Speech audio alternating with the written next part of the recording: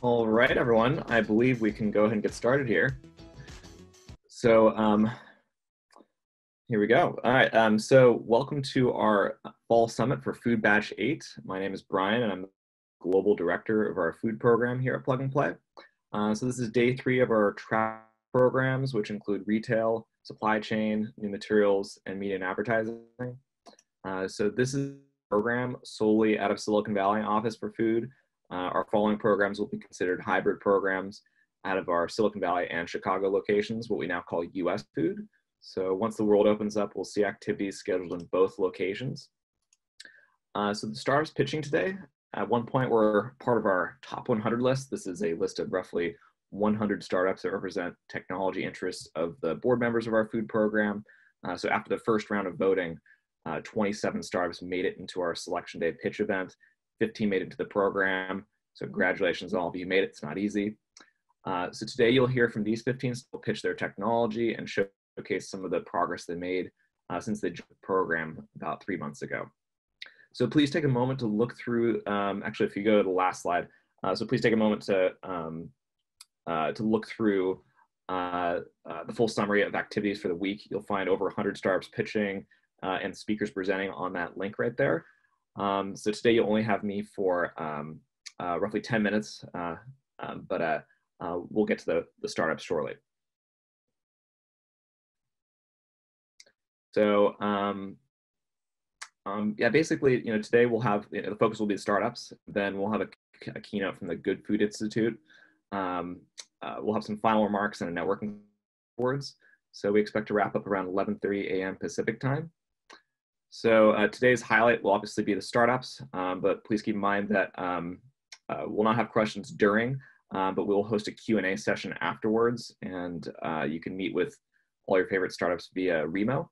Um, after each pitch, you'll be prompted with a asking if you'd like to be put in touch with the startup. Um, so there's plenty of ways to connect, but if there's any problems, feel free to reach out to me or any of our team, and we'll get you set up. Um, so on the left slide, you can see the startups that are pitching today. Uh, on the right, you'll see the corporations that made this session possible. Uh, these are the companies that guide the technology focus of our program and engage most heavily with us through events, deal flows, and eventually the pilots and investments. Uh, these are also the companies that support our programs to expand to new locations. So we'll talk about that in a little bit. Um, so if we go to the next slide. Um, so the goal of our program is really to identify the most pressing technologies that impact the future of our food system. Uh, these are technologies that impact the health and flavor of our food and the environment around us. Um, so really the technology focus areas and partners are shown here. We use these areas to assemble our top 100 list and eventually decide the companies that you'll see pitching today. Uh, focus areas change over time. So recently we did see a big shift towards novel proteins, sweeteners, microbiome technology within that uh, larger ingredient innovation space. Um, as we expand to Chicago, our focus will again shift as we take additional interest in packaging technology, uh, as well as food safety and supply chain areas. So I'll spend a little time on this slide over the past year, our world's faced significant environmental, economic, health challenges. The food industry has been, been relatively uh, resilient. So despite some publicized uh, challenges in the meatpacking industry due to close working conditions and in retail due to the run on grocery items, uh, it's been very resilient. Um, last year, investment in food-related technologies reached an all-time high of $3.4 billion of investment, uh, which is 70% greater than the year prior. And in just the first half of 2020, we've already seen 4.8 billion dollars of, of, invested capital in the space. Um, so the alternative protein space has been particularly active this year. Uh, Impossible Foods is probably the most notable company in the space. They rose half in scale their plant-based burger operation. Uh, on the seafood alternative side, BlueNalu uh, secured $20 million in additional financing, and, and for alternative dairy, Perfect Day rose 140 million. Uh, so it's been a pretty amazing growth for this space, and I'm sure our keynote will will talk more about uh, the protein side. Uh, you know, the animal meat industry globally is a two two trillion dollar market, and meat substitute less than uh, less than one percent of this market at, at eight billion dollars. So really, the, the growth of this space idle. uh, for environment due, our, due to our planet's inability to increase animal meat production at the same rate as global demand. So we are reaching what's called peak meat. Um, so we spend a lot of time on proteins and it captures a lot of attention and it's very important. Uh, but there are other big, big successes in the food world to be aware of. Food waste and food loss cause significant economic and environmental waste. Groups like Apeel Sciences have been very successful. They made headway this year in the food preservation space with their edible coat, raising $250 million. Um, so we believe the food industry will continue to provide ample investment opportunities due to continued innovation and consumer demand throughout. And we believe this will continue through the upcoming recession. So um, some of you may know this, uh, my humble beginnings at Ladera. Uh, I joined Plug and Play uh, four years ago after pitching my own company uh, to Plug and Play. Um, and eventually I, I landed in, in their food, food, which has been a really great experience. Um, so over time, Plug and Play has gone through many changes as we figured out our identity and value offering. And, and now we're in over 30 offices around the world with over 500 employees, all dedicated to finding amazing startup technologies and connecting them with our uh, partner corporations to help them scale. So since we started in our program has expanded to several locations uh, as a food program, including Sao Paulo, Brazil, and Milan, Italy, uh, which was last year. And then this year, we started in Nanjing, China, Fargo, North Dakota, Topeka, Kansas, and Bangkok, Thailand. So I'll, I'll talk about some of these offices. So this July, we launched our food program in Thailand. This program showcases startups out of the APAC region, uh, and they have several different interest areas, two being indoor agriculture and ingredient innovation. So the next event's October 29th. Email if you'd like more information on this. And uh, this year we launched a program in China thanks to our partnership with the city government of Nanjing and corporate partners, including we're excited to partner with the Walmart Food Safety Collaboration Center and their innovation pipeline. Next event will be roundtable discussion in November, and we'll be inviting partners including Mondelez, BASF, PepsiCo, and Mars uh, that have already engaged uh, with this division. So um, on October 21st, so next week, we are officially launching our animal health and ag program in Topeka, Kansas. Uh, this program is focused on three key areas, uh, livestock monitoring, diagnostics, and alternative feed. So again, um, it's, we're, we're launching this next week, so please reach out soon if you'd like to participate. And uh, lastly, as uh, many of you know, I wouldn't want to miss an opportunity to talk about Chicago. So in February, our program expands to Chicago, and this is primarily to better serve our partners. Most of our partners are in Chicago or further east, so having a local presence can be really important deal flow and programming. So um, our next event will be on November 17th, focused on food packaging. So again, reach out to me if you'd like to learn more. And here you can see uh, my contact information. So I'll do my best to, to get you some answers uh, if you have some questions. Um, but uh, participate in Chicago, Topeka, China, China, or Thailand, please just reach out and we'll, we'll get connected. So uh, before we introduce our keynote speaker, I would like to announce uh, our two new corporate partners. First is the third largest company in Mexico with over 1,500 products, 25 brands. Uh, their slogan is Con toda confianza, which means with trust. So their goal is to become better every day and have set innovation as one of their pillars in this mission. So we are very excited to have our first Mexican food partner, Grupo Herdez. There we go. Uh, and our second uh, new partner for the food program is the largest company in the world by revenue. Uh, we are very excited to start working with Walmart's Food Safety Collaboration Center and their Food Safety Innovation Pipeline. So please welcome, uh, briefly speak, uh, Will Watts, the Senior Director of the Walmart Food Safety Collaboration Center. And Will, if you're there, uh, you can take the stage. All right, Brian, thank you for passing the mic, taking the virtual stage. And thank you to all of our partners, friends at Plug and Play. Just really quick, uh, we recently collaborated with Plug and Play for our Global Food Safety Innovation Pipeline. Uh, this has been a, wow, uh, four years now. I had much more hair when we actually started the program. Uh, to backtrack a little bit, I'm with the Food Safety Collaboration Center. Uh, so of course, I'm probably everyone's familiar with Walmart less familiar with the collaboration center that was set up about five years ago as part of a $25 million commitment by Walmart to improving food safety, specifically in China, though that mission continues to grow globally. And with this fourth year of the innovation pipeline, we really are doing things on a global scale. And so we partnered with Plug and Play just to tap Walmart and the Food Safety Collaboration Center into the global startup community.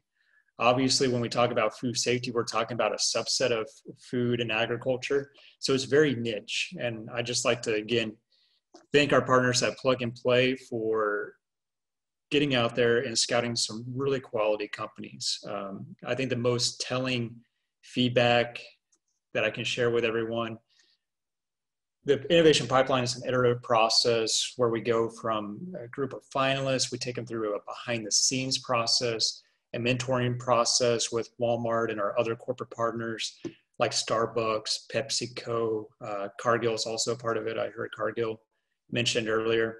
And then they finally get to pitch uh, to decision makers within each of the companies. And for the Walmart portion, we had our global VP for food safety on the phone call uh, listening through the pitches. And her comment to me afterwards was, it's not a matter of who we're going to uh, partner with, but matter prioritization, meaning that uh, she wanted to work with all of them. It's just a matter of how much capacity do we have, especially as we continue to deal with the ripple effects of COVID to take on these pilots. So um, that was great feedback, and I think the highest praise that we could have gotten for that program that uh, over the rest of the fall, getting into spring, we'll be looking forward to a lot of new pilots, POCs being run in our stores here in the United States and in China. So big thank you to Plug and Play and a quick pitch to our Global Food Safety Innovation Pipeline. It's a yearly event, uh, and we look forward to maybe seeing some of you that are on today's call join us for next year. So thank you so much, Brian. Back to you. Excellent. Thanks, Will. Uh, yeah, looking forward to working with you closer. So, um, you know, that uh, wraps up my portion. So I'd like to pass it off to our keynote speaker. Uh, so if we go to the next slide, uh, we'll introduce Nate Cross. Um, Nate Crosser. Uh, Nate, uh, may be familiar with you as he presented with us before on the topic of protein innovation. Uh, so the Good Food Institute and consults with startups and investors with the sole goal of accelerating the development of the alternative protein market. Uh, I'm excited for your, for all of you to hear his talk and hope you walk away with some, some useful insights. So please welcome Nate. Thanks, Brian. Pleasure to be here. I will get my screen shared. And please confirm uh, once you can see it. We are good. All right, great. Hello, everyone. It is a pleasure to be speaking with you all today at Plug and Play's Fall Expo. As you're uh, probably seeing in the news, the food system seems to be very poised for transformation, and, and clearly, as you see from these startups, uh, really more transformation, probably in the next 10 years than in, in entire generations before us. Uh, there, there's a lot happening here, you know, indoor farming, genetic, genetic engineering of crops, microbiome research, food as medicine, personalized nutrition, robotics and big data in farming. Uh, there are world-class companies working in many of these areas in today's expo. However, uh, I would argue that nothing is poised to as rapidly and fundamentally transform our agri-food sector than the explosion in innovation and how our center of plate staples are produced. Namely, how applying biotechnology to food production has enabled a new wave of ingredients and commensurate processing methods that allow us to produce meat, eggs, and dairy pr uh, products without animals as a technology. Together, we call these technologies alternative proteins. Uh, as Brian mentioned, my name is Nate Crosser. I'm a startup growth specialist at the Good Food Institute. And uh, for those not yet familiar with the Good Food Institute, uh, very quickly, we are a donor funded nonprofit that is dedicated to accelerating the shift to a sustainable, healthy, and just food system through innovation in protein production methods. We employ over 100 staff in six countries with three key programmatic departments. In science and technology, our team of PhD scientists works to advance the foundational science of alternative proteins through drafting white papers, identifying white spaces, and funding research. Our corporate engagement team builds relationships with the world's biggest food manufacturers, meat companies, restaurants, and retailers to help them capitalize on opportunities in alternative proteins. And our policy team advocates for fair regulation of and government investment in alternative proteins. In sum, GFI achieves its mission by acting as an accelerator for the supply side of the alternative protein industry. So over this 30 minute presentation, I'll provide an overview of what is driving our current agri-food transformation, zooming in on the technological enablers of the transition, particularly alternative protein biotechnology in the form of plant-based, cultivated, and fermentation-derived proteins. I'll define the types of alternative protein, briefly describe the technology, and highlight applications and areas of opportunity. Then I'll put the transition in the context of historical agricultural transformations. Finally, we'll look at where we are now in terms of investment and adoption, plus some expectations for what is coming. So let's go to drivers. One of the questions that drives our work at GFI is, how do we feed nearly 10 billion people by 2050? Unfortunately, our current system of producing protein through intensive animal agriculture is too expensive in terms of greenhouse gas emissions, deforestation, biodiversity loss, zoonotic disease, antibiotic resistant disease, land use, water use, animal feed to edible food conversion, and supply chain volatility. I'm sure you've seen the stats by now. It is incredibly unlikely that we can scale up or optimize the current system to accommodate 30% population growth over the next 30 years. That would be crazy for us to count on doing so. That would be like assuming that increases in fuel efficiency and gas powered machines means that we won't run out of oil and we don't need to look at renewables. Necessity is obviously the mother of all invention, and this has led to pioneers radically rethinking how we can turn agricultural resources into the foods that people want to eat. So the next driver, and the one that makes all of this possible, is consumer demand for alternatives to meat, eggs, and dairy that are produced in a more sustainable way, uh, that are also healthier. The primary cause of the growth of the alternative protein industry um, has primarily been a consumer interest in reducing animal product consumption by mainstream consumers, a much larger segment than vegans and vegetarians. Beyond Meat states, for example, that 93% of the uh, customers also buy animal based meat. Two thirds of US customers reported that they are reducing their consumption of at least one type of meat, uh, uh, with the majority of those reducing red and processed meat. However, around a quarter are also reducing their consumption of either seafood or poultry. 41% of US households now buy plant based milk. As I'll discuss, although consumers are driven to animal product reduction for a variety of reasons, purchase decisions are primarily driven by taste, price, and availability of products. We are just barely on the cusp of having any animal free products that can compete on taste, price, and availability, let alone all three. We expect that when there are companies that can deliver that trifecta, consumers will transition in droves. Generally, it's important to note just how engaged millennials and Gen X are in the plant based category. 30% of millennials in the US, who are poised to become the largest generation, eat meat alternatives every day. We are seeing, uh, th- yeah, and then millennials plus Gen X together make up 67% of volume sales of plant based proteins in the US. And we're seeing similar trends in other parts of the world, including the United Kingdom, Germany, uh, several of the European countries, and then new kind of waves of, of uh, plant based products in, in China and India as well. Uh, the next driver, established companies are turning to alternative proteins as a cornerstone of their sustainability strategy. So alternative proteins are important to the bottom line and risk mitigation for businesses. The Farm Animal Investment Risk and Return Initiative, a global network of investors addressing ESG issues in protein supply chains, has a great catalog of research explaining this connection on their website. According to FAIR, 40% of large food companies now have dedicated plant-based protein teams. Uh, as Brian mentioned, you've seen the processes, uh, the, the product problems with meat processing uh, due to COVID. And uh, because of that, FAIR has, um, uh, according to FAIR, US meat giant stocks plummeted 25% uh, as Goldman Sachs listed livestock alongside oil is one of the two most precarious commodities for investors in the next year. Outside of the risks inherent to animal agriculture, like human and animal disease, all proteins are just more efficient. Rather than relying on just-in-time supply chains and manual production lines like in meat, egg, and dairy industries, alternative proteins can allow for storage of ingredients and better automation of production. Alternative proteins can also be easier for companies to work with, such as easier food safety management, faster cook times, and better tolerances in processing. So why all of this hype and focus when veggie products have been around for decades? Up until quite recently, we are in the plant-based 1.0 or the veggie stage. Consumers associated plant-based products with hippies, sprouts, and unseasoned tofu. Products that were intended for consumers with a vegan or vegetarian lifestyle.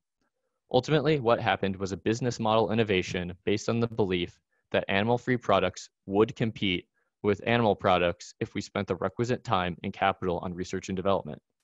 Beyond and Impossible showed that with their, showed that with their beef uh, burger products, and now hundreds more companies are making the same bet. As a result, today, plant-based is starting to look very different. Plant-based 2.0 is driven by innovative, tasty products that are made to satisfy meat eaters. This biomimicry approach has only been made possible by innovations in manufacturing technology and ingredients.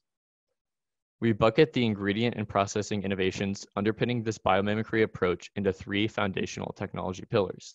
First is plant-based proteins, second is animal cell culture, also called cultivated or cell-based meat, and third is fermentation, also known as non-animal cell culture. I'll go slightly more in depth on those later. First to plant-based, which is the most mature category of the budding alternative protein industry. Despite frequent headlines and massive sales successes, the first wave of biomimicked meat, egg, and dairy products is well less than a decade old. The uh, brainstorm behind plant-based meat, egg, and dairy is that plants and animals are largely made up of the same biochemical compounds. So for every protein, lipid, or functional compound in the dozen or so uh, animal species that we eat, we can find an analog or replacement among the hundreds of thousands of species in the plant kingdom.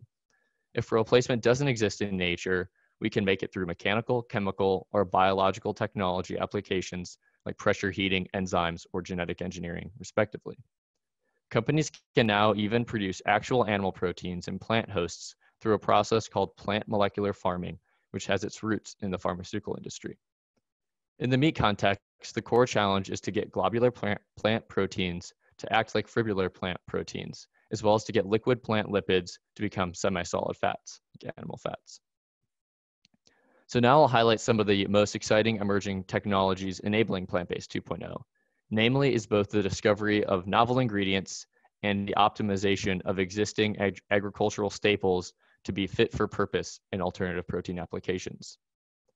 The first wave of plant-based foods were primarily comprised of soybeans and wheat, but the pioneers of the plant-based food 2.0 movement realized that there are tens of thousands of edible plant species that can be explored and optimized for their protein content and functionality. Beyond's use, Beyond Meat's use of pea protein as a protein base, Impossible Foods' use of soy hemoglobin, and Just Inc.'s use of mung beans for its functional plant-based liquid eggs are a few examples of the magic that many companies are trying to emulate. There are many novel protein sources that show promise, including duckweed, chickpea, oat, quinoa, and hemp, as well as numerous oilseeds, pulses, cereals, and millets. Outside of the plant kingdom, trophic Triton Algae Innovations and others are unlocking red algae as a source of amino acids, coloration, and functionality for plant-based foods. Many of the blockbuster plant-based meat products to date have been ground or minced products like burgers, sausages, and nuggets, partially due to the difficulty associated with imparting fibrous 3D structure to those globular plant proteins. The prevailing method that is used right now is twin screw high moisture extrusion, but 3D printing has emerged as a promising production method for 3D whole cut meats like steak. Uh, startups like Redefined Meat and Nova Meat are capitalizing on the huge investments in 3D printing technology and collateral industries to create a previously unimaginable generation of plant-based meats. Shear cell technology uh, which is a, a novel mechanical process that allows for layering of fibrous vegetable protein, is now being commercialized by Rival Foods, a spinout of Wageningen University, the world's top agricultural university. And, and actually, some startups are eschewing mechanical processes altogether in favor of biological processes such as solid state fermentation, uh, which I'll hit on shortly.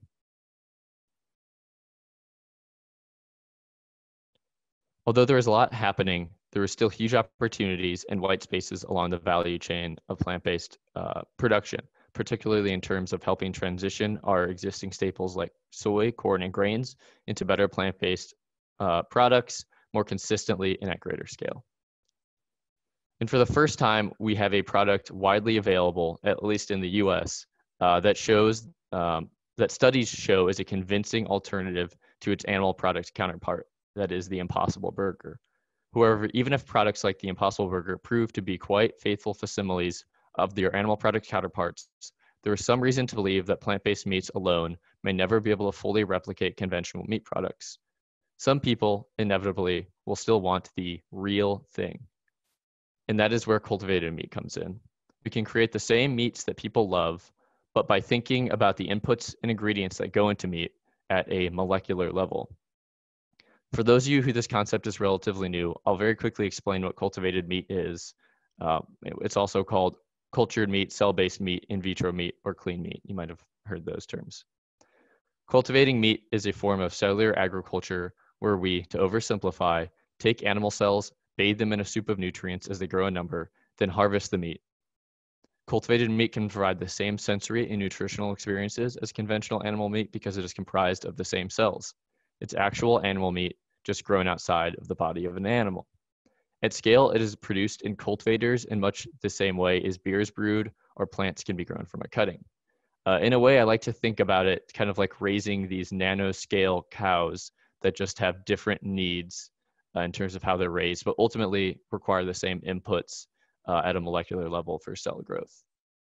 Compared to conve conventional beef, cultivated beef is expected to reduce land use by more than 95%, climate change emissions by up to 87%, um, and curtail the risk of zoonotic disease, antibiotic uh, resistance, and food contamination. Similar technology can be used to create cultivated leather, collagen, ivory, and other animal products, such as dairy produced through uh, mammalian mammary gland cells, like TurtleTree Labs. Since the first cultivated meat companies formed in 2015, the competitive landscape has grown with increasing speed, nearly doubling a number of established startups every year. This graphic provides a non-exhaustive sampling of companies in the space. By the end of 2019, 55 cultivated meat uh, and seafood industry startups spanning six continents had publicly announced themselves. There are now over 60 companies that appear to be primarily focused on cultivated meat production. Many companies like Merck and DSM are also pursuing cultivated meat as an additional business area. Most cultivated meat companies formed as vertically integrated businesses out of necessity, but there is now a burgeoning B2B ecosystem. The greatest opportunities for companies to get involved in cultivated meat are first, cell line development, that is, unlocking new animal species through cell isolation, immortalization, and biobanking. Second is cell culture media, which is the largest cost driver of production by improving the processes used uh, in biomedical tissue engineering media, just scaling it up and making it cheaper. Third is bioprocessing. So that would be improving the uh, process design, creating bioreactors and facilities. And fourth would be scaffolding or imparting 3D structure on these products, which remains uh, a problem.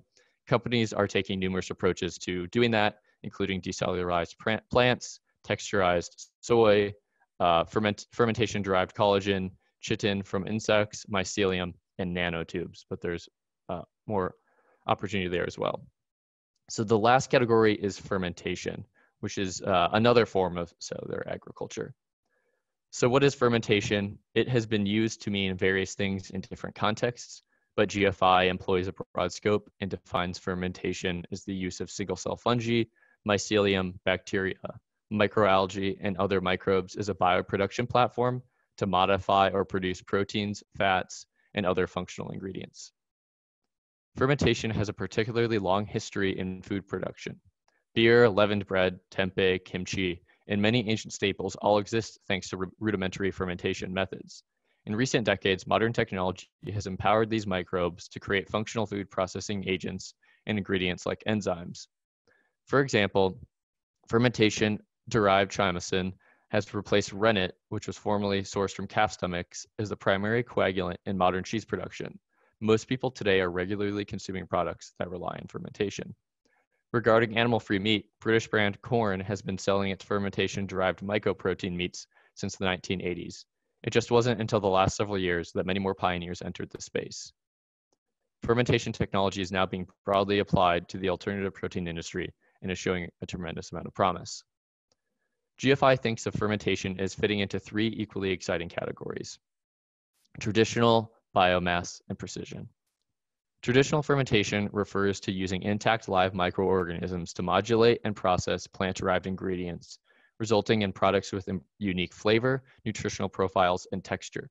Examples are using the fungus rhizopus to ferment soybeans into tempeh and various lactic acid bacteria to produce cheese. Next, biomass fermentation is used to produce standalone edible protein. Biomass fermentation leverages the fast growth and high protein content of many microorganisms to uh, efficiently uh, produce large quantities of protein from various feedstocks like glucose, CO2, or agricultural waste.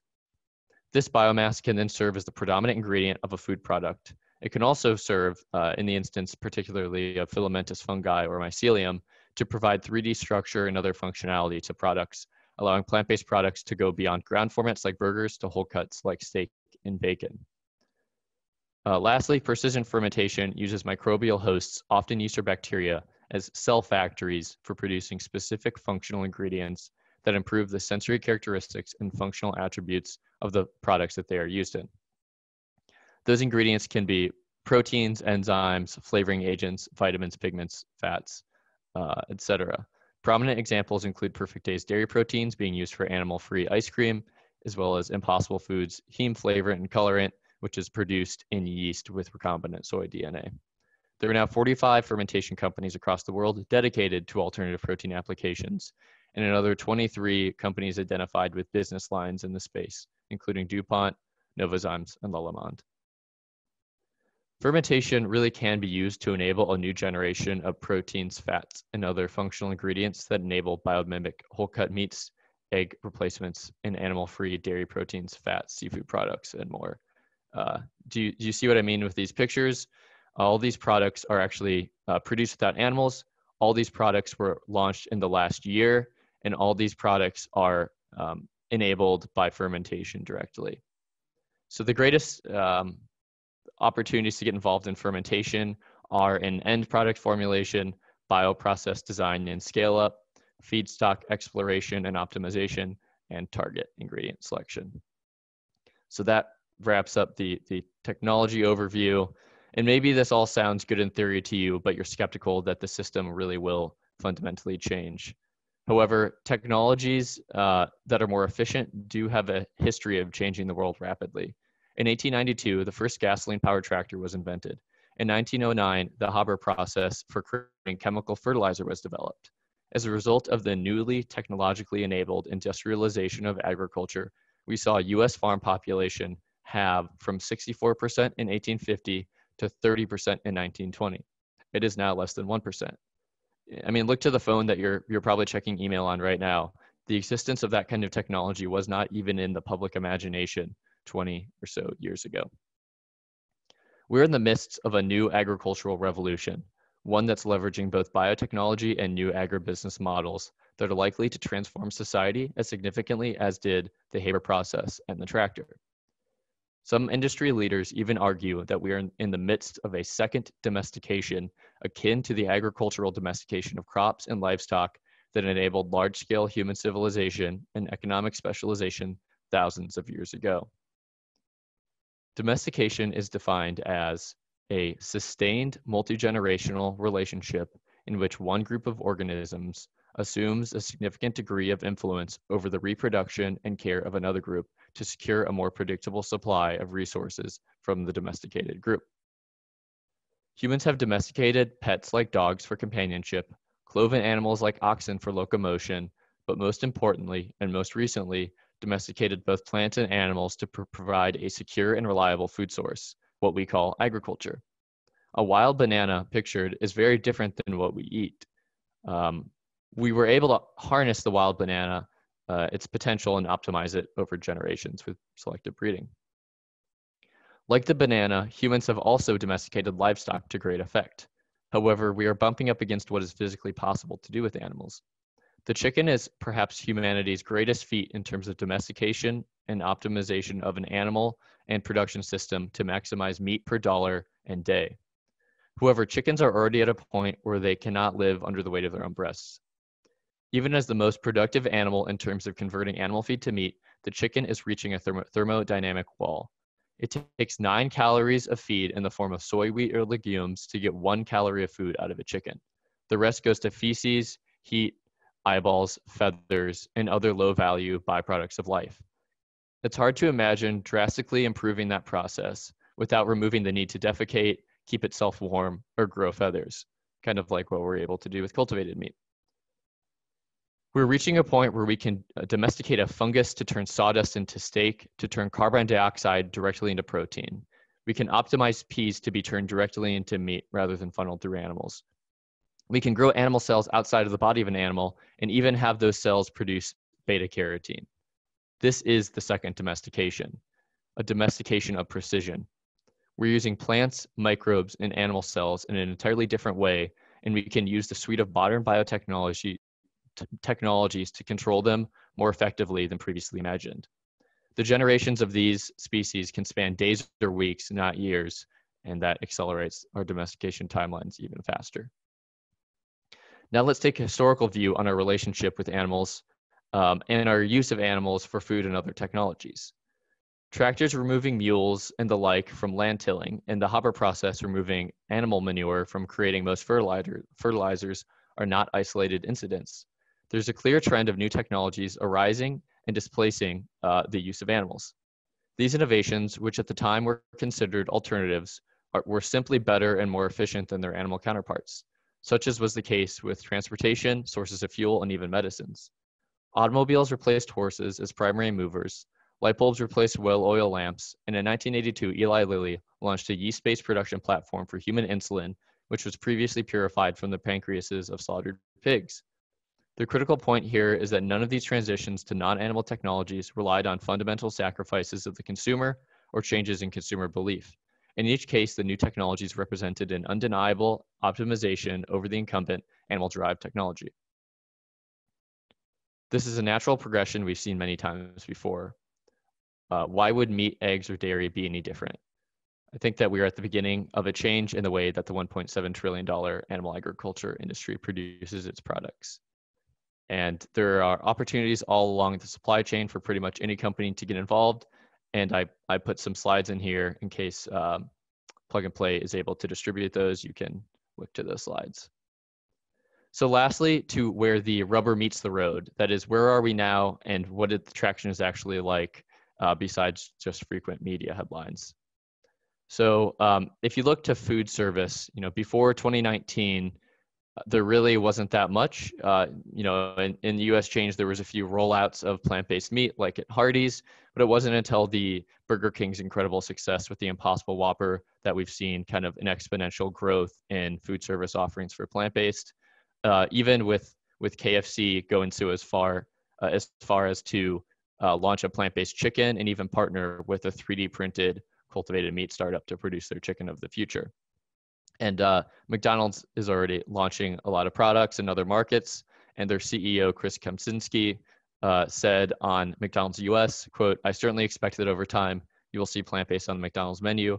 I think for us, the question is really about when. So uh, food service has seen drastic success. Looking at retail sales um, in US, because that's what we have data for, the um, US retail market for plant-based food reached $5 billion in 2019 alone which was five times the growth of the broader food market. And if you look from the period 2017 to 2019, it was 28% uh, industry growth. The big players in the meat and food industry have taken notice. For example, of the top six meat companies in the US, all of them are active in plant based meat through their own product lines or through investments. Tyson, Smithfield, JBS, Cargill, Hormel, and Conagra have all now developed plant based meat and or blended products. Several meat companies are even rebranded as protein companies now. Turning to the largest food and beverage companies in the world, all of the top five either, have either invested in a plant-based brand or developed their own. This is a massive shift that will boost sales growth in 2020 and beyond as these companies leverage their strength in distribution, manufacturing, and marketing. So here's another way to visualize the rapid growth of product launches. As you can see, for a long time, very little was happening uh, until 2019, which appeared to be a tipping point for plant based meat. And we expect that once these products start scanning in 2020 and beyond, that retail sales uh, is going to skyrocket.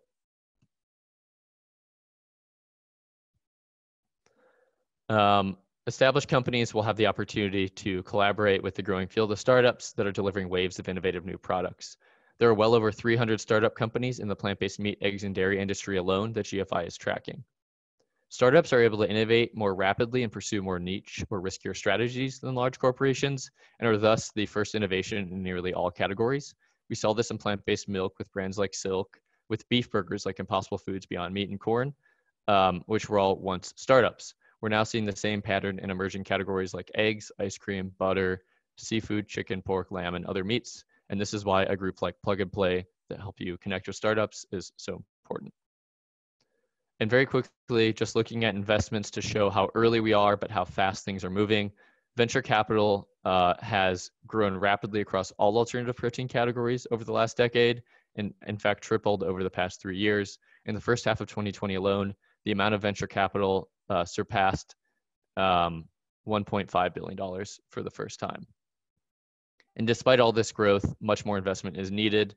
Um, per PitchBook, over 2.5, uh, 2.65 billion dollars in venture capital went into U.S. cannabis companies alone, which is more than the entire alternative protein industry. And although the uh, the amount of investment is relatively small, um, there are about 700 or 800 institutional investors um, in alternative protein companies, but com- compare that with 5,800 in ag tech, according to PitchBook. Uh, it, it's still relatively early, but those investors do include some of the brightest minds, governments, and food companies.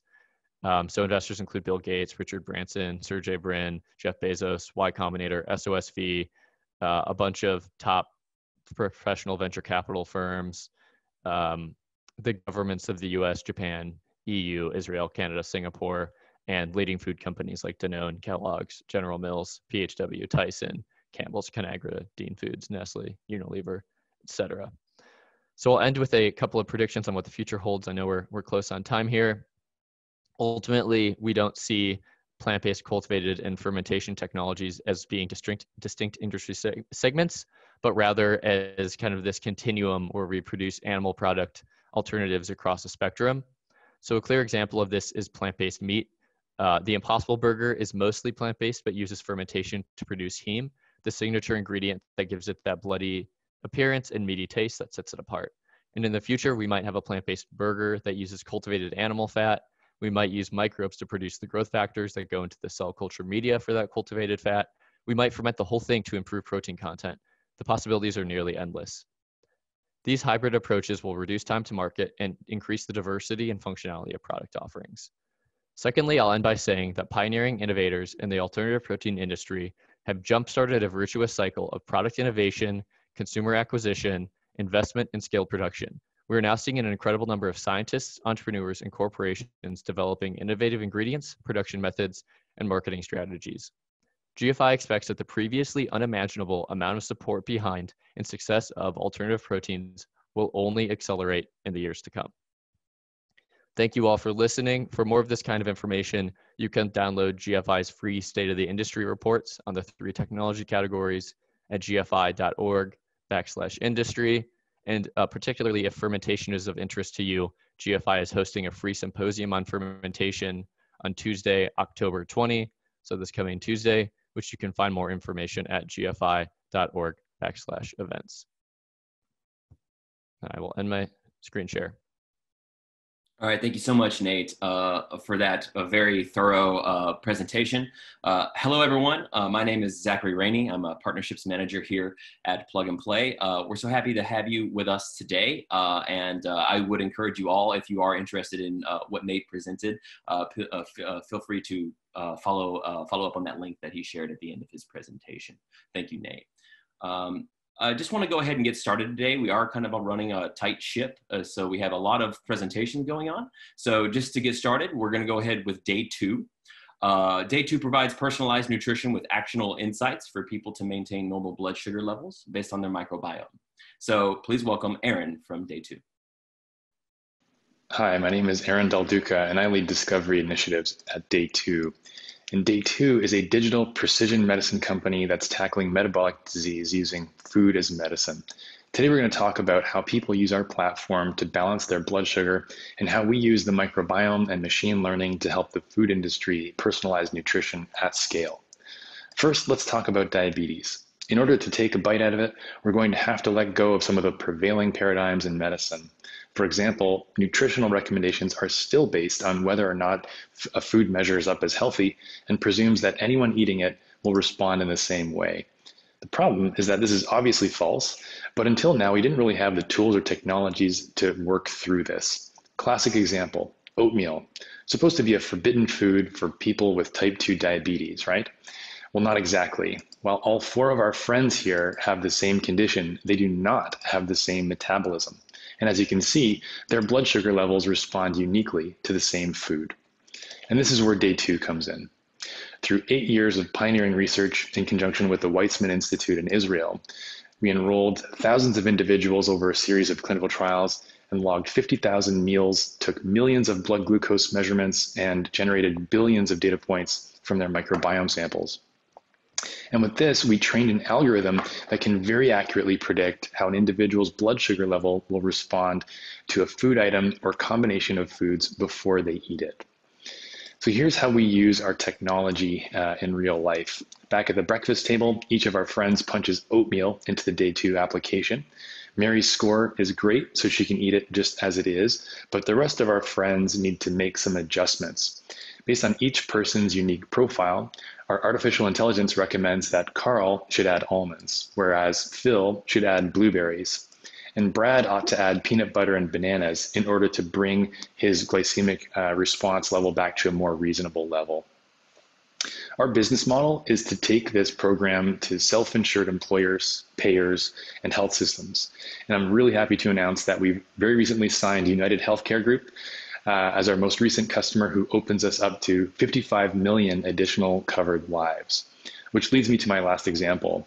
Now that we have a platform of over 65,000 individuals, each characterized with microbiome information, nutritional information, we have a unique opportunity to look through the other end of the telescope here and use our knowledge base to help our corporate partners, many of whom are in the audience today, formulate better products faster and cheaper by optimizing in silico.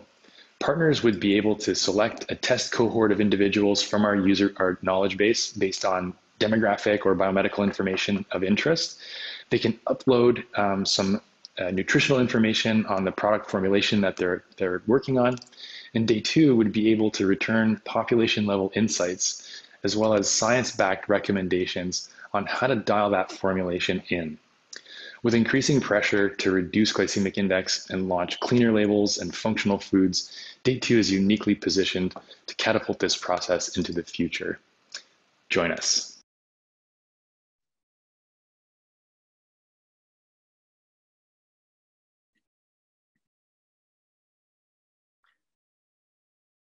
Thank you so much, Aaron. Um, so our next startup will be uh, StenCo. StenCo has oxygen barrier properties better than most plastics and has a low cost of production. So please welcome John from StenCo. Hello, my name is John Brown. I'm the founder and CEO of StenCo. First, I'd like to thank you all for the opportunity to have been a part of this year's Plug and Play program. It's been a pleasure to have interacted with many of you over the past few months. It is truly an honor. So, we have a problem. The raw tonnage of plastic being created is hard to even imagine. Put into perspective, 300 million tons would be the mass of 6 million semi-truckloads every year. Sadly, a significant amount of it makes its way into our environment and oceans. Single-use plastics are more than half of that number. We depend on them to keep our food fresh, our supply chains efficient, and it's so convenient. We're all just kicking the can to our ancestors, and as it will be a problem still in 10,000 years. But what can we do about it? There are many biodegradable options on the market, but most of them are unsuitable to the task at hand. Against that backdrop, StenCo went to work. We used nature and good old-fashioned polymer chemistry to create a platform technology we call the StenCoat system. This barrier coating can be applied to paper or other substrates as a packaging barrier to form a stout chemical oxygen barrier that may be customized to a variety of applications. We designed it to be stable, safe, and based on nature's own chemistry. Easily applied and inexpensive, it degrades in the same way as cellulose, naturally. At StenCo, we believe that data speaks louder than words. Our OTR values are beyond many established barrier films that are in everyday use already. As scientists, and using our novel approach, we found a lot of green space around our ideas. As entrepreneurs, we patented it. At the heart of it, and more to the point, we are a technology provider and expect to license our IP. Let us put our experience in chemistry to work for you. We have experience and know-how to customize this product to meet your KPIs. Give us your problem, we will work with you to find a solution. The markets are huge. Everyone listening has likely used hundreds of single-use plastic items that can be candidates for our product. We've prototyped some of these already and are looking to expand that list very soon with the right partners. For a coffee pod application, we developed a formulation with some of the more aggressive targets imaginable. We're truly excited about the potential that this is showing. There are options out there right now to take petroleum-based plastics that are suffocating our planet. This time, the time is right to take big steps for the sake of our children. Compare us, please. You will not be disappointed. For those of you that we have talked to and we continue to speak with, thank you. For those of you with sustainability goals, we look forward to engaging with you. We are proud to be where we are and have parlayed a modest amount of investment into what you see here today. Our next steps are even bigger. If you're interested in participating in StenCo's future, we'd love to talk with you. Thank you for your time.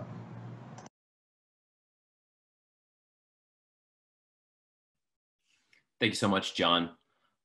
Our next startup, MyAir, creates a functional uh, personal superfood for stress management. Please welcome Rachel from MyAir. Hi. You know, many people don't talk about it, but unfortunately, too many people are dying from it. Stress is the global silent killer. For the past 20 years, I had a stressful career as VP Marketing at Teva, the leading pharma company, and the CEO of the snacks division at Nestle, the leading food corporate. In fact, as a business leader and executive manager, stress has become a massive burden in my life. Stress is number six killer factor. 75% of the adult population in the US has reported suffering from chronic stress, and the cost of stress to the US industry is $300 billion. I tried to manage my stress through medication, meditation, mindfulness, but I failed to maintain stress, stressless management into my routine until I understood that the changing behavior is so complex, but there is one thing that we all love to do eating. In a world where we manage our diet or manage our sports routine, it is essential that we will start to manage our stress, and personal nutrition is part of the solution. We are MyAir, a functional food company specializing in personal stress management. Imagine once a month you get a box into your doorstep with your name on it. In the box, you will find a set of tasty and healthy nutrition bars made with a mixture of active super plants. Those super plants are proven to reduce stress and tailored to your specific profile. Well, the truth is that there is no need to imagine, because for the past few weeks, we had the privilege to deliver those exact solutions to hundreds of consumers all across the US. And the feedback was behind our wildest dreams. Last week, I got those text messages from our consumers. Actually, we were not surprised to get this feedback because the research results on our pro- pro- products were that 72% of users demonstrated positive effect after eating our super bars. Plants are the world first technology, and we believe in food that works for me. Our proprietary formulations are based on plants based molecule proven to reduce stress. Our super plants can support the body's natural ability to heal stress through the endocrine and autonomic nervous system. When talking about stress, one size does not fit all. Stress affects me mainly at night on my sleep, but stress affects one of our users mainly in the morning on his energy levels. Chronic stress might create focus problems or muscle tension. One size does not fit all. So the next question would be, how should I know which nutrition bar I need to eat? Well, luckily, we live in the age of big data. And through our research on stress, we were able to develop a super smart patent pending algorithm based on AI technology. Through any smartwatch, we analyze physiological data and combine, combine it with psychological data through cognitive assessment. That unique combination of mind and body creates the best profiling. Since stress is an ongoing problem, we offer an ongoing solution. Our subscription model offers wellness routine based on personalized long-term ongoing data. Stress is not my only personal problem. It's also the biggest global silent killer, and personal nutrition is part of the solution we invite you to join our Superfood for Mood journey. Thank you.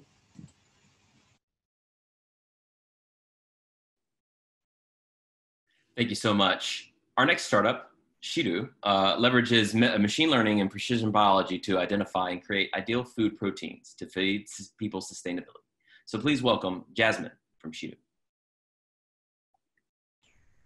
Hi, everyone. My name is Jasmine Hume, and I'm the founder and CEO of Shiru.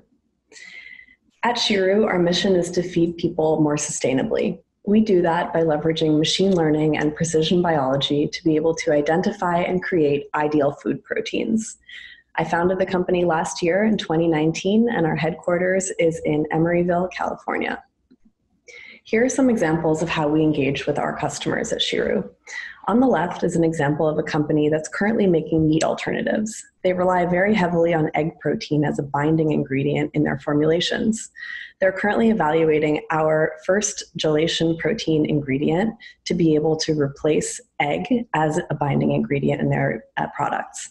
On the right is another example of a company that's uh, also evaluating the same ingredient. They want to make a vegan yogurt alternative under their brand. Interestingly, Shiru is identifying ingredients that are specifically very functional, and so they can be uh, used to replace ingredients such as egg protein or dairy proteins. How do we do this? At Shiru, we use an iterative, iterative approach to identify the best natural proteins via machine learning. It's essentially a, a three step process. First, we discover proteins that have ideal structures computationally by using machine learning and other proprietary algorithms. Second, the proteins that we've predicted to be functional through these algorithms, we create in the lab. We do this by expressing these proteins recombinantly through fermentation. Thirdly, we then validate those proteins, making sure that they actually demonstrate the functionality that we were screening for to begin with. What results from that third step is two things. One, all of the data that was generated in that process that helps our machine learning methods get better and better and also identifying the products that are very functional that we want to scale and develop into ingredients. We intend to bring our products to market by two potential paths. The first is through expression in microorganisms, which is a more near term goal. Longer term, we also expect that these proteins can be expressed heterologously in crops. We have a great team at Shiru that consists of experts in machine learning, computational biology, and of course, proteins and protein chemistry. We're backed by world class investors. Last year, we went through Y Combinator, raising our pre seed, uh, followed by closing our seed round in October of 2019, where we raised $3.5 million, led by Lux Capital with participation from S2G, CPT, and another, a number of other prominent VCs. We're really excited to talk to you about partnering uh, and helping us bring these uh, to, to bring these ingredients to market to help you continue to innovate and make great food products. Please reach out to me if you're interested in discussing potential collaborations. Look forward to hearing from you. Thank you. Thank you very much, Jasmine. Our next startup, TurtleTree, is the first biotech company to create milk sustainably using cell-based tech. Please welcome Fengru from TurtleTree. Hi, everyone. My name is Fengru. I'm the co-founder and CEO of Tree Labs. See, getting milk from cows is going to be a thing of the past. We're the first biotech company in the world that is able to use cell-based technology to create full milk. This is a game changer. Milk is by far the largest food segment in the world. We're talking about a $700 billion industry that will one day be using this technology to source raw milk. We know that cattle farming isn't sustainable and produces 37% of global methane emissions. Plant based products are great, but don't have the full functionality of raw milk. We can harness the power of cell based technology to create milk that is clean, fresh, and free from antibiotics. Being functional means being able to make cheese, butter, cream, or yogurt. So, how does our technology work? We start with cells that we can get right from fresh milk. We multiply these cells, then put them in our special lactation media. The cells will then convert the lactation media into milk. What's really special is that our cells are not consumed in the whole process. They are a factory that makes milk, and our end product is free from cells. Using a licensing and royalty model, we will be working with existing equipment manufacturers on our bioreactor design. Our team will work with dairy producers and consumer brands to co develop products for consumers. Like the Intel Inside model, we can envision our logo on every dairy product globally. We started in January, January 2019 with several scientists and filed our provisional patents after we made some breakthroughs. Fast forward through 2020, we have now raised our seed funding and began customer engagement with major brands that account for 22% of the global dairy market. Recently, we're honored to be awarded the winner of the 2020 Temasek Livability Challenge.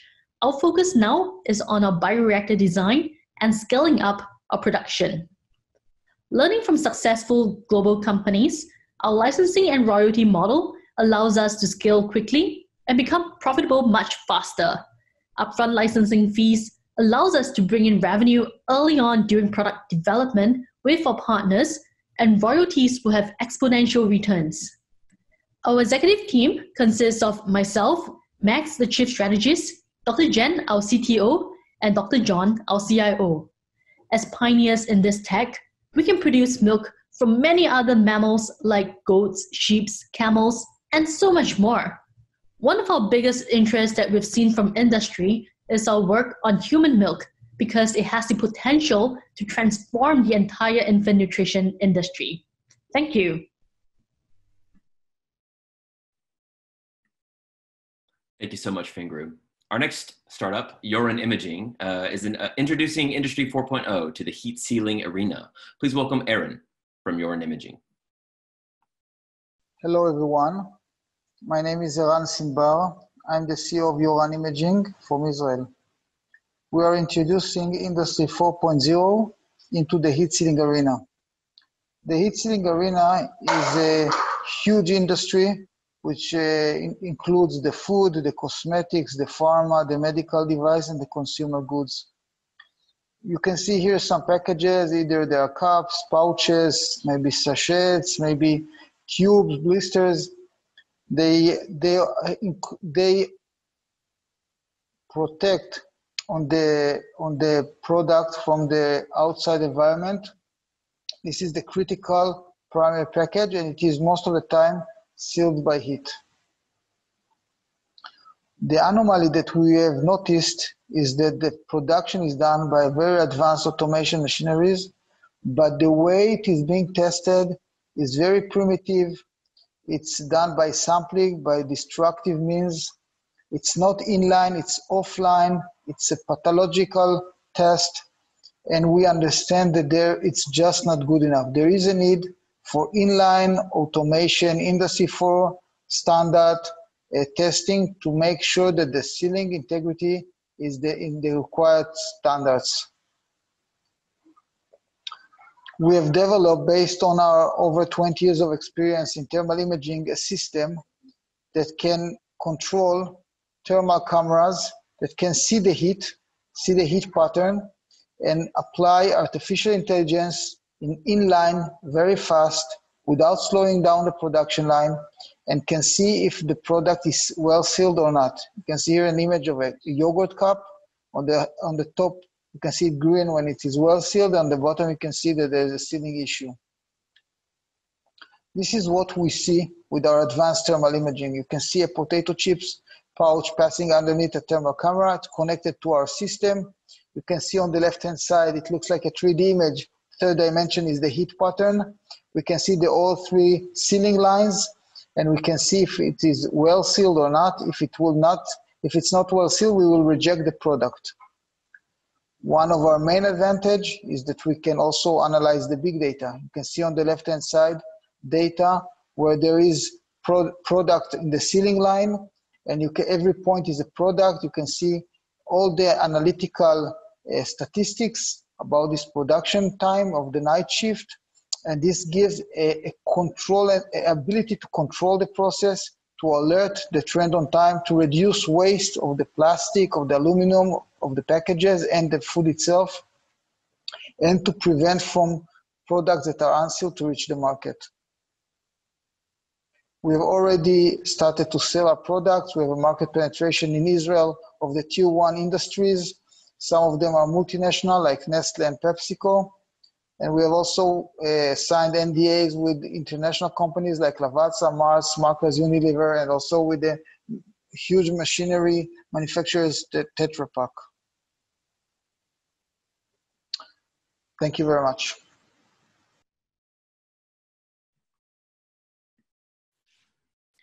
Thank you so much, Aaron. Our next startup, Posidonia, helps reduce salt while keeping taste. Posidonia is 100% natural sea salt that only contains 8% sodium. You're gonna have to explain that one to me. Go ahead, Arnold from Posidonia. Hi guys, I'm Arnold from Posidonia and I just would like to explain you how we're gonna revolute the food sector with this product, a natural low sodium salt. As you know, salt is really bad. You have salt in everything and everywhere. And just following the WHO, 4.2 million people are dying every year just because of the salt consumption. We should eat on average eat maximum five grams of salt per day, but today we all eat more than 10 grams of salt per day. And only in the US, more than 100 million people are suffering from hypertension, which is a huge number. Another fact is that 80% of the salt that we consume uh, comes from processed foods. First of all, from bread, then from meat, from cheese, from ready meals, uh, from soups and sauces. Um, and now today, when you want to reduce the salt, you have three ways of doing that. First of all, is less salt, but less salt is less taste. Then you have a well-known product, a chemical product called the potassium chloride. But what's the problem with that is that you have a bad taste, a metallic taste, and then it's also not supported by health professionals. And then the third way of doing that is using Posidonia, a natural product. So what do we do and who we are?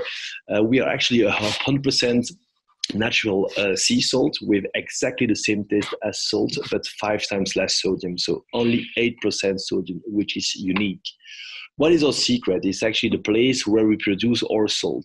So here you have the island of Formentera in Spain, a beautiful place where I hope that I can bring you all the next time. And around these islands, you have the biggest wool reserve of, of a plant called the Posidonia oceanica. And thanks to this plant, we can produce this unique salt. Now today, we are working with plenty of retailers uh, in Europe and food manufacturers such as Carrefour, such as La Lorraine, such as Delhaize, so each time in bread, meat, cheese, uh, or salmon, we are even working with Puratos, um, and we are presented as their solution uh, for the salt reduction. Uh, and in the US, we are also working with Aryzta, which is baking one bread for Starbucks in the US. So you see, there are plenty of opportunities, and we really would like to see what we can do uh, for you guys. Here you have, for example, uh, example of marketing campaigns done by Carrefour in Belgium on the left and in Spain on the right. So TV ads just explaining minus 25% salt, exactly the same taste thanks to Posidonia salt. So now guys, it's up to you. Uh, you see the market is huge and we really would like to uh, work together and see what we can do with you to innovate and build the best product ever. So please do not hesitate to contact us and I wish you a really, really good day. Bye.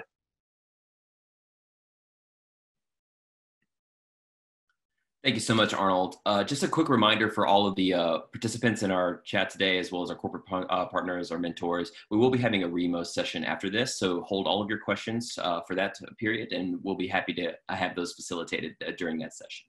Our next startup, BioTip, has developed freshness stickers, an IP protected technology that changes color exactly when a product spoils. So please welcome Zer from BioTip. When you go to the supermarket and want to buy a product from the fridge, like milk. The expiration date should tell you whether the milk is fresh or not. Is it really like that?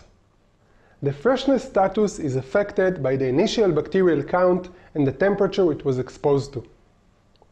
However, it's impossible to know what exactly happened to the milk from the moment it left the factory until we drink it. Thus, expiration date has no ability to really tell us the quality of the food that we eat. As a result, tens of billions of dollars are wasted due to the inaccurate expiration date. This challenge disturbs the industry for a long time. At the producer level, solutions such as time temperature indicators TTI only indicate on the amount of temperature that the food was exposed to, but not on the freshness status of the food. In addition, they are relatively expensive. At BioTip, we provide the ultimate solution. Spoilage equally occur in the product and in the sticker, which essentially is its biological twin. Unlike other, we indicate on spoilage and not only on temperature exposure, we develop a solution that measures and not only assume freshness status of the food. To apply this, simple existing machinery is needed. All this pleasure costs only one cent per product, including depreciation, labor, and materials. Freshness stickers bring huge value to the industry, starting with making the products more reliable, increasing the trust between the producers, distributors, and consumers, improve corporate social responsibility. All this together will increase market share. Considering all relevant products, we estimated a total market of tens of billions of dollars.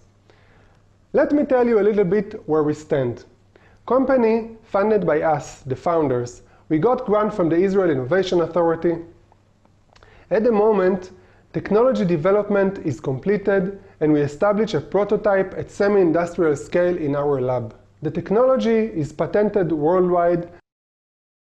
We recently were selected by the European Union EIT Food and currently targeted to engage commercial agreement in Europe, accompanied by, by mentors from Danone and Pascual.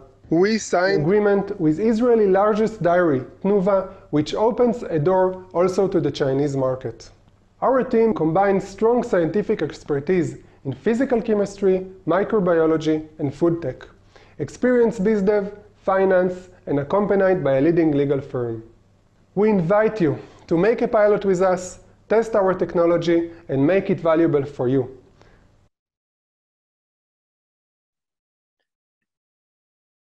Thank you, BioTip. Our next uh, startup, Algama uh, Foods, aims to harvest the unique potential of microalgae by integrating them into our daily food products. Please welcome Pascal from Algama Foods. Hi, everybody. My name is Pascal Longchamp, and I'm the Chief Commercial Officer of Algama. With Algama, we recognize, like everybody else, that the future of food is plant-based, but we have taken a different direction than everybody else uh, since we have focused on algae and the reason why we have focused on algae is because it has a very high density uh, in proteins, and these proteins contains all the essential amino acids. So it's a very uh, sustainable way of producing your food and incorporating it into the food and beverage matrices. Around that, we have created a company called Algama back in 2013 we are headquartered in Paris and we have offices in New York. And basically, we have developed technologies, formulation, ingredients, and also end product around algae.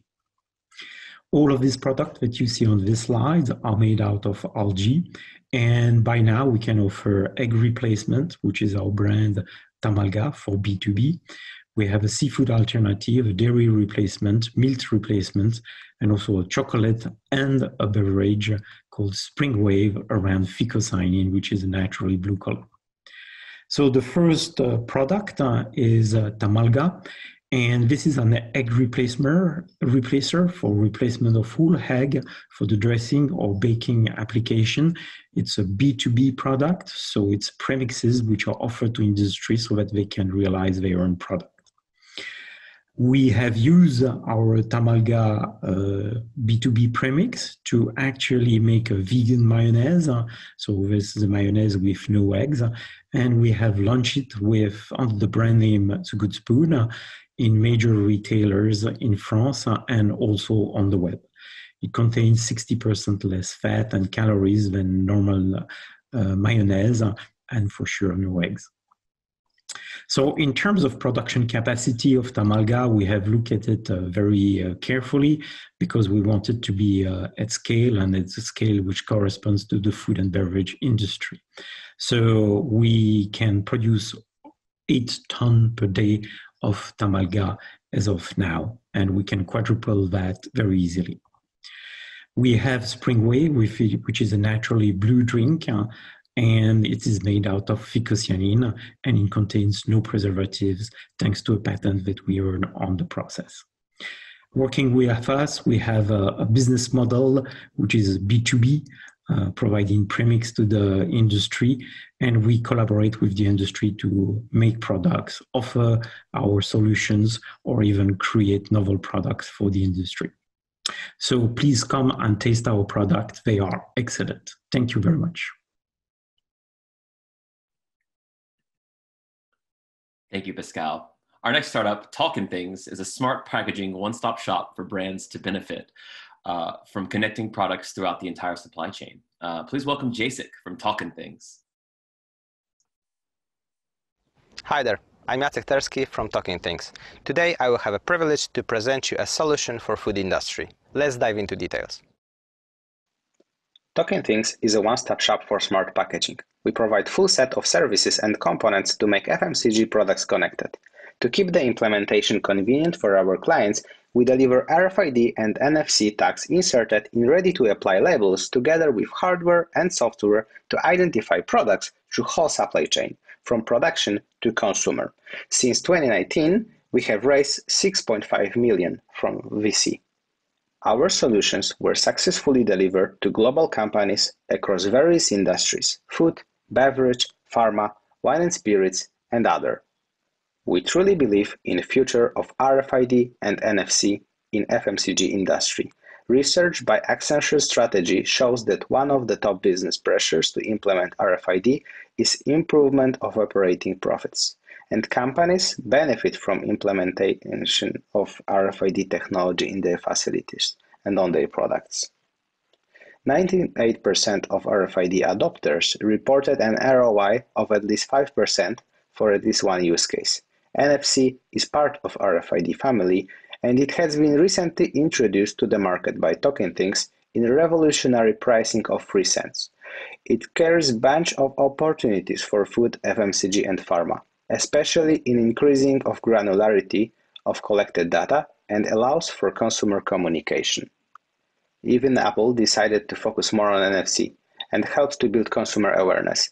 New iOS 14 enables native scanning even for older iPhones, starting from iPhone 7. Talkin' Things helps our customers to build a reliable solution that matches consumer communication and track and trace down to product single unit. In food industry, ensuring customers on genuineness and freshness of purchased products is very important. This solution helps also to reduce food waste with automatic scanning and checking expiration dates at retail stage. But this is not where connected products' life ends. It allows for creation of bridge between physical and digital, like allowing consumer to reorder product by redirecting to e-commerce. Thanks to our investment in the most modern RFID and NFC manufacturing line based in Central Europe, we are able to deliver a 3 cent NFC tag now with a roadmap to go down with the price to 1 cent in 2025. NFC tax has been never been more affordable, and we truly believe this enables most of food and FMCG products to become a connected ones. Today, I would like to invite you to become NFC adopter with support of Talkin' Things to get unprecedented competitive advantage and be innovator and leader in your category. Thank you.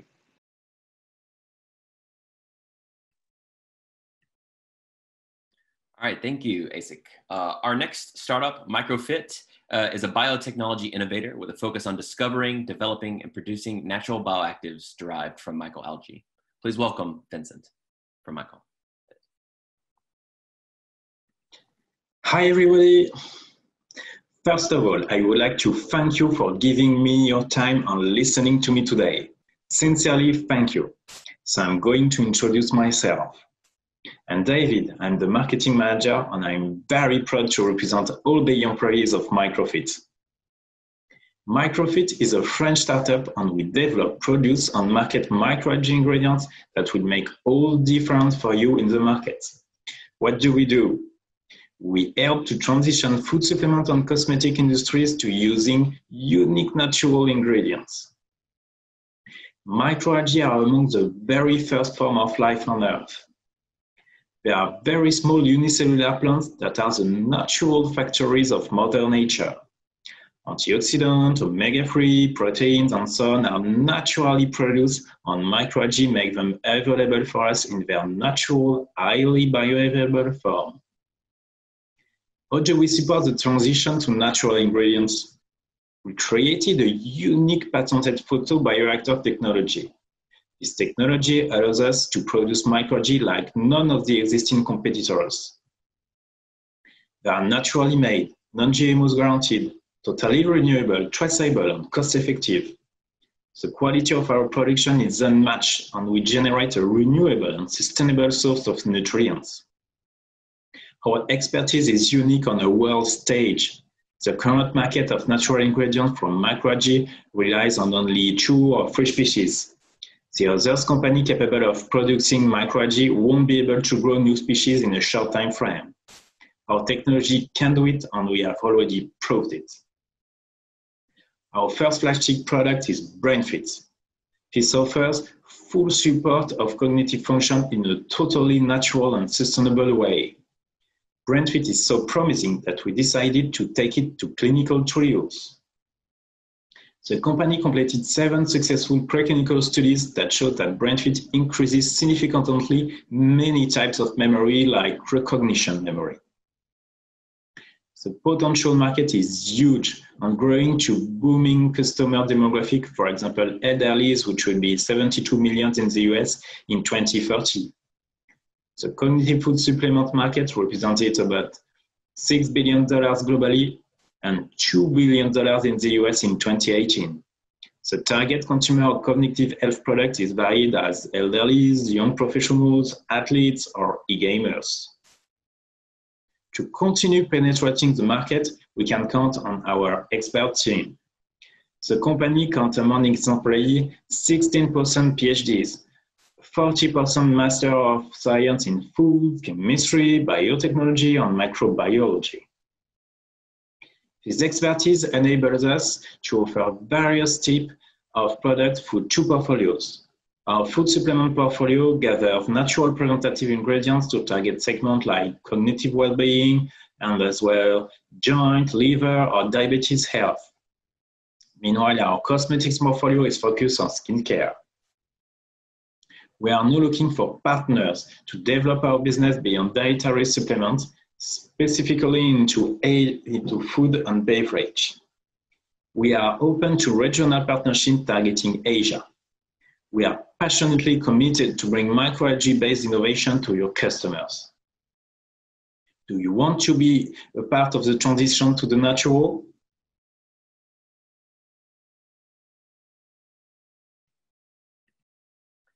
Thank you so much. Uh, our next startup, LifeNome, is an award-winning precision AI platform for personalizing health and wellness products, programs, and services. I actually had the pleasure of seeing them uh, present in Japan as well. Please welcome Ali from LifeNome. Hi, my name is Dr. Ali Mostashar. I am the CEO of LifeNome, a precision nutrition and health AI company headquartered in New York City. LifeNome was co-founded by three uh, scientists, uh, each in their top 25 cited scholars in the fields of complexity science, computational genomics, and semantic networks. Um, we have more than $28 million in deals lined up in, for the next uh, five or six years, and we would like uh, to add uh, your business to ours. Um, in terms of partnerships, we have partnerships with some of the major brands in the world. Uh, together, our clients have uh, more than $500 billion in market capital. And we have received industry recognitions such as being the World Economic Forum's Global Innovator and Zurich um, World Championship in um, Innovations um, Global Winner.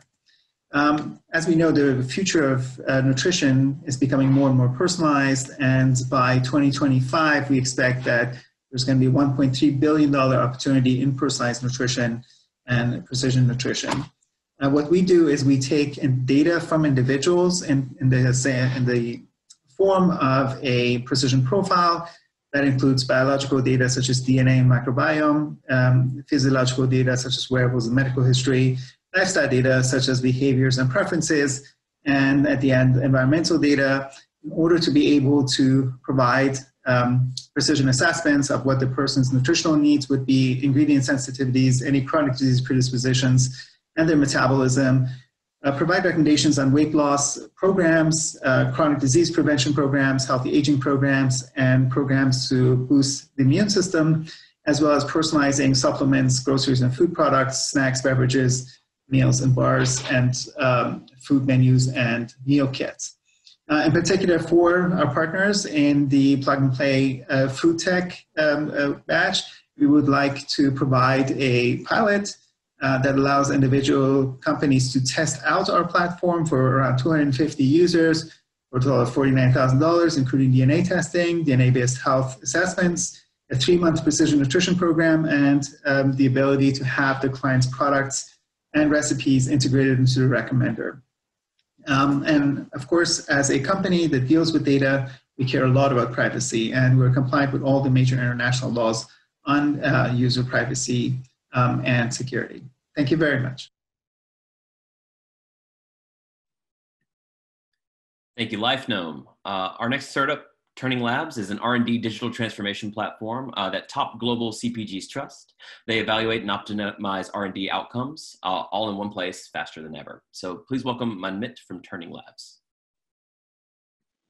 Hi, I'm Manmeet Shrimali. I'm the co-founder and CEO of Turing Labs, and Turing is the fastest way to develop product formulations. 1950 was the first time Tide was launched. Today, there are 53 products doing the same thing. The point being, consumer needs are changing extremely fast in today's highly competitive world, and you have to meet those needs. But you know, it's extremely hard to develop better products. Today, it takes months, if not years, and millions of dollars to configure optimal product from ingredients to packaging to claims, and you have to go through the stage gate process and when you do that, you realize that your product was not good enough to win over the competition, or you are too late in the market. What if there's a better way to do it? What if you can develop better product formulations 10 times faster with 50% less cost and improve the odds of developing more successful products? That's what we do. Turing Built for CPG is a software that helps you to innovate better products across development stages virtually and instantly. The way we do that is we take your data, we provide you with a software that can help you to assess your formulation hypothesis instantly and also helps you to know how your consumers will react even before you have built the product. We build the entire workflow and the AI just for CPG data and your stage gate process. That's why we are the fastest and the most accurate when you compare us with generic ML company whose algorithms never work for complex sparse CPG data. We are extremely faster than the consulting company, and we have a workflow built for CPGs versus a generic Microsoft or you know Azure kind of a workflow. Our model, our software has been loved by top CPG companies in the world, including the fourth largest CPG in the world, one of the top 10 food company, and fifth largest retailer on the planet. Recently, we had a fantastic win. We saved $6.7 million in R&D and consumer insights cost, reduced time to commercialization from months to just few weeks, helped the team to assess hundreds of formulations instantly with 91% accuracy, and recommended three products formulations. One of them is already in the market. And the reason we're able to do that is because we have built the database, we have the AI just built for CPG. Our team is very strong. We have founders uh, with years and years of experience in CPG, and we are backed by Y Combinator and top Silicon Valley investors. So if you wish to speed up your product development by 70%, leverage your assets to gain your competitive advantage and innovate better products, come and talk to us. Thank you. Thank you so much, Manmeet. Uh, our next startup, Edamam, uh, provides nutrition solutions to businesses in the food, health, and wellness sectors by leveraging its cloud-based structures. So please welcome Victor from Edamam. Hello, I'm Victor Penev, founder of Edamam. Edamam's mission is to organize the world's food knowledge so we can give it back to people and help them make smart food choices and ultimately live healthier and happier lives very early on, we recognized that to have the most impact, we have to make meet people where they make their food choices at grocery stores and restaurants, dietitian offices, and corporate wellness programs. So we set ourselves the goal to become the nutrition data engine behind every food, health, and wellness business in the world.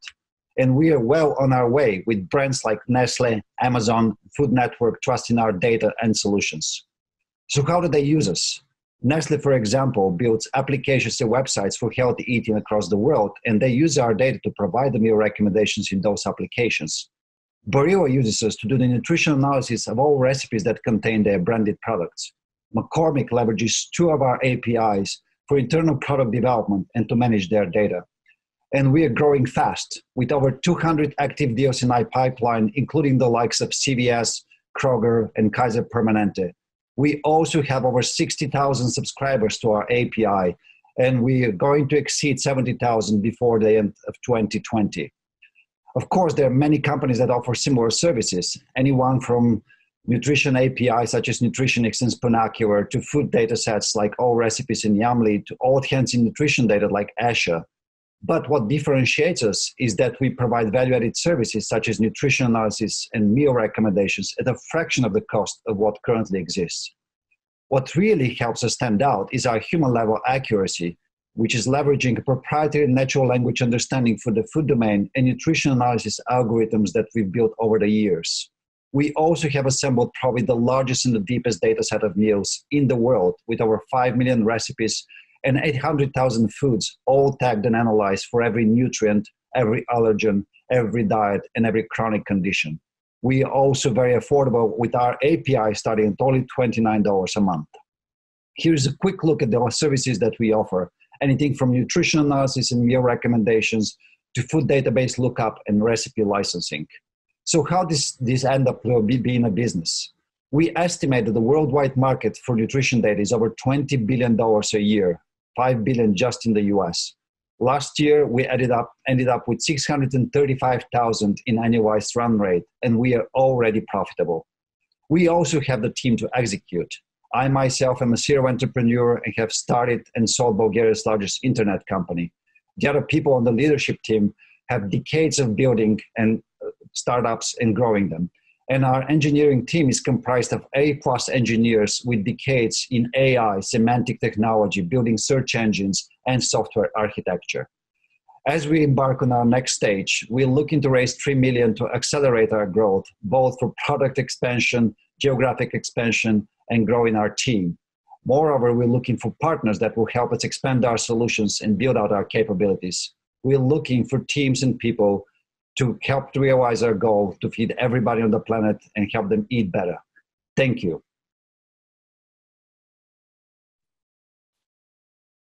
All right, thank you so much, Victor. Uh, last but not least on our startup agenda today uh, will be Paragon. Uh, they aim to understand the science of nature to create genuine ingredients for delivering natural flavors, colors, and nutrients uh, for wholesome foods. So please welcome Chris from Paragon.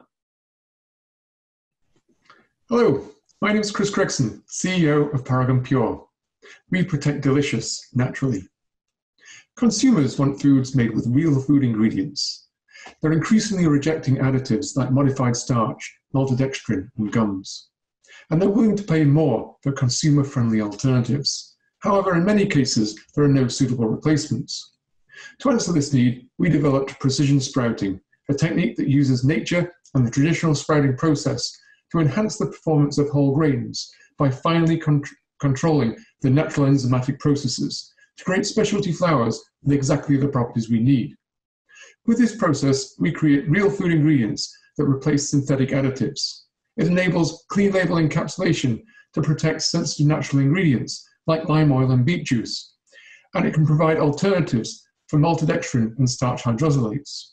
This is a consumer-friendly solution and it fits within existing supply chain infrastructure. It's also a more sustainable, minimal processing approach with improved carbon footprint, less waste, and higher yield.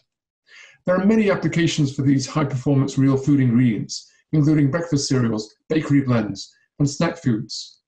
We're targeting a $34 billion addressable market that includes encapsulation solutions, food powders, and replacements for starch derivatives. Partnering with leading ingredient suppliers enables high gross margin revenue potential of over $200 million. Our business model is to license our technology to ingredient suppliers. These are companies that aim to provide the clean label ingredients that food manufacturers need to make consumer friendly foods. The model is repeatable, and we have a pipeline of projects for future innovations. The runway for meaningful revenues is about two years, after which revenue growth will be rapid and further accelerated as we expand to new ingredient segments and build additional technologies. Technologies in this space are extremely sticky with recurring sales that can last decades. We expect high gross margin revenues of about $8 million by 2023, growing to $50 million by 2025. Since Paragon Pure was founded in 2019, We've achieved significant traction. Three patent applications have been filed, and we've conducted several proof of concept trials with major ingredient suppliers. Our next step is to drive these partnerships to commercialization via joint development agreements. We're a team of industry insiders with decades of innovation and commercialization experience. We use precision sprouting to create high performance real food ingredients. So if you're an ingredient supplier looking for differentiated technology, a food manufacturer wanting consumer friendly ingredients, or an investor searching for a great seed funding opportunity, we'd love to talk with you. You can email me directly or visit our table at the Plug and Play Fall Summit Expo Remo event. We'd love for you to join us on our quest to protect delicious naturally.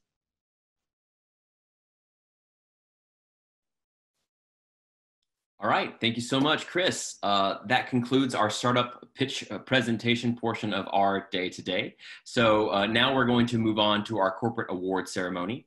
So we um, uh, each year, um, uh, especially during the batch, we um, we wrap up the uh, end of the startup presentations with some awards for our corporate partners, our mentors, and our startups that participated in the batch.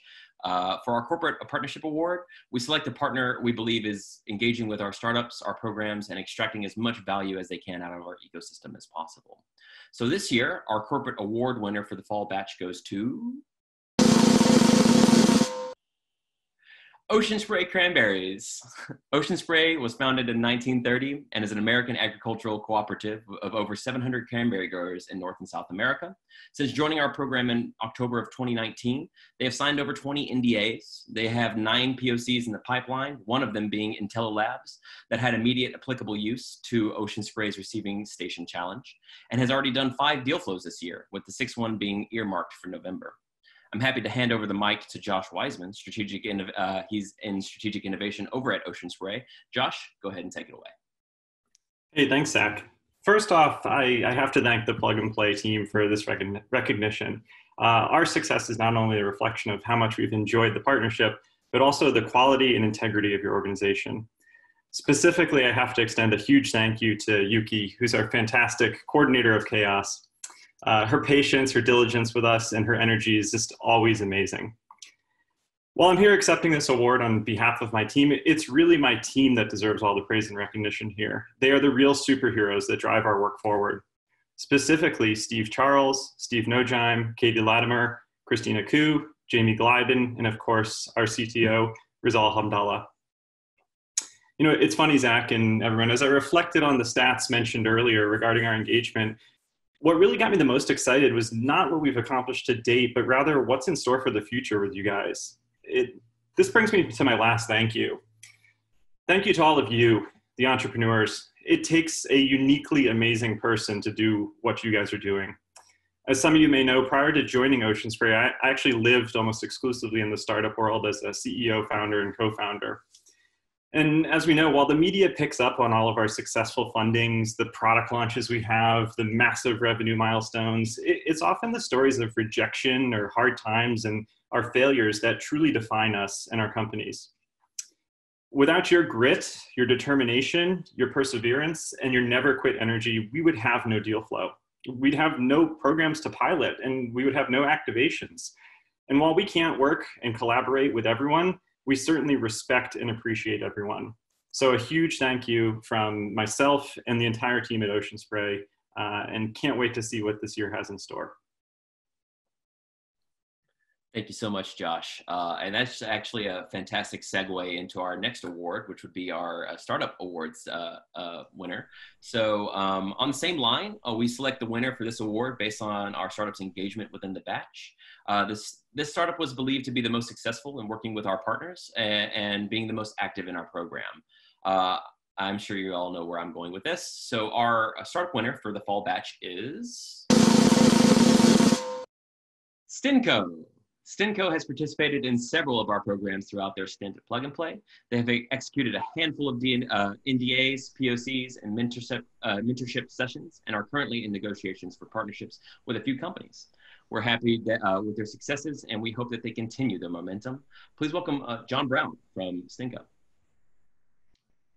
Great. Uh, thanks, Zach. Nice drum roll. Um, we've had quite the year, haven't we? there's really been a lot of adversity and it's not really been easy for us. I'm pretty sure a year ago, no one would have thought that we'd be having virtual events and re- remotely networking. But I'm a bit of an optimist and take away from this a feeling of gratitude to have had this opportunity to interact with so many people it would not have been possible to have met with during our three months together.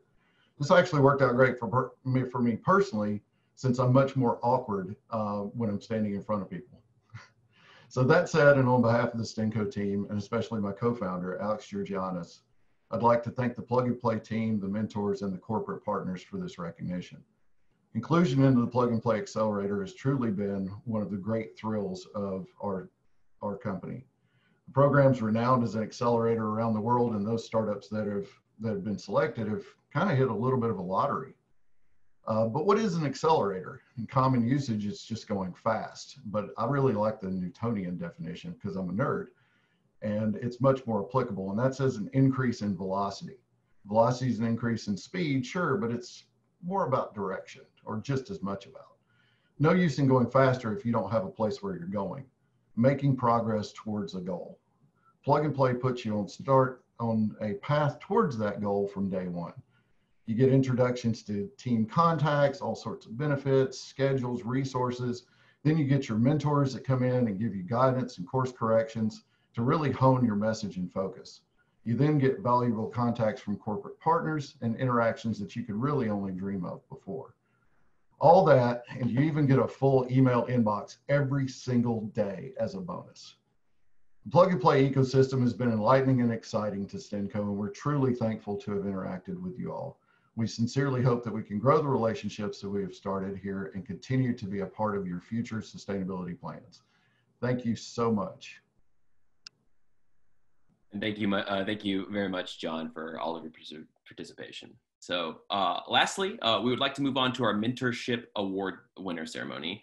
Now, this is a first for uh, our mentors and our corporate advisors uh, for, to be awarded. Uh, we are selecting the winner for this award based on several factors, such as uh, startup feedback, their relationship with their plug and play, as well as their dedication and commitment to our ecosystem. We have our mentor award winner as well as our corporate advisory uh, award winner. So this year, our uh, award winners are Chris Mossing and Minnie Zotos. Minnie actually used to be the champion for Tyson Foods, uh, but as a senior manager of business ventures at Al- Companies, he has come, uh, come on as a mentor to help our startups learn best practices. He's a forward thinking and enthusiastic leader of over 15 years of consumer products uh, experience, and he's put that to good use, enabling our startups uh, to more seamlessly collaborate with our partners. Uh, Chris uh, has actually been uh, helping our program for about four years now. Uh, he is a sales coach for startup founders, helping them build repeatable sales models to generate predictable revenue. He's been helping our startups create a strong value proposition, develop targeting, uh, target marketing uh, campaigns, set up CRM systems, and so much more uh, to help our startups in our ecosystem. On behalf of Plug and Play, we thank you uh, so much for recognizing the importance of external innovation, partnering with us to help startups to uh, uh, across the ecosystem. Our efforts combined with the committed and passionate mentors like you will aid us in shaping the future of our programs together. We truly appreciate the energy and optimism you have brought to our programs, our organization, and more importantly, to our entrepreneurs. We look forward to continuing this rewardative and productive collaboration. So next, uh, just, uh, just to go on, we're going to move on to our networking session. As I mentioned earlier, this will be via Remo. So we do have, uh, a, um, this session will be invite only, exclusive to corporations, mentors, and members within our ecosystem. So we're going to play a short uh, tutorial on how to use Remo on the next slide, and then please find the link in your calendar invite sent by Gabriella. All right, thank you. Hey everyone, my name is Ho Yin. I am the founder of Remo. Today, I'm going to give you a quick walkthrough on how to use Remo. When you get the Remo event URL, you will then land on this event landing page. You will see a countdown if the event hasn't started, but since the event has started right now, what you want to do is click on Join Event Now. Here you will enter in your email, and you can also log in with Google. Type in your name with your password. Please create a new password and a new account um, when you enter here and click on Join Event Now. This event what allows you to use your microphone and camera to build meaningful connections with others. So please click on Allow Camera Microphone, click on Allow, check that your camera and all of your microphone works here and you can change it by clicking on each of these. If you have camera and mic issues, click on the Need Help button on the bottom left corner here and we would chat uh, with you. Our chat support will help you. If, everything works, click on Cam and Mic Works, join event. When you land on the space, your microphone auto automatically turns on. You can also turn on your ca camera over here by pressing this button. And you can turn them both off by turning this off. When you turn on your camera, um, you can also switch to tile view right here like this. And you can also click the back to map to go back to your map. You can also uh, click, double click on each table to go to that table, so you can see here. And when you go to a different table, you will only see and view the people that are active on that table with their video and camera turned on. So if I double click back here, I will only see uh, the other individuals here um, that have their videos and cameras turned on. After that, if you click on any person's avatar, if they've connected their LinkedIn, you can see their name, their profile, and the company that they work for. You can also connect them on LinkedIn here and view their profile, book them a meeting if they have a booking link connected, or message them.